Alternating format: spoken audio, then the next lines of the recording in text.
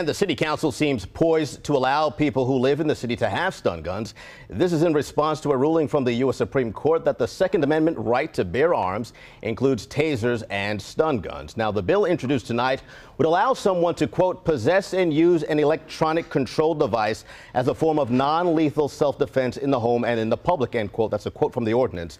There would be restrictions to use, such as in sensitive places or in the hands of people who pose a risk. This is the most recent reaction to the U.S. Supreme Court ruling that determined Baltimore's ban on the weapons was unconstitutional.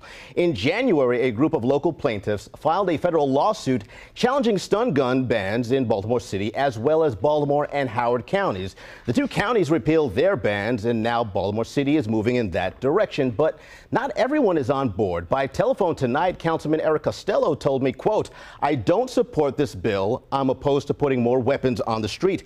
End quote. Now, Costello chairs the Judiciary and Legislative Investigations Committee and has scheduled a public hearing for the bill for May 2nd and concedes that if Baltimore tries to fight the U.S. Supreme Court's ruling on the stun gun ban, it would cost the city big bucks. Andre Hepkins, WBAL, TV 11 News.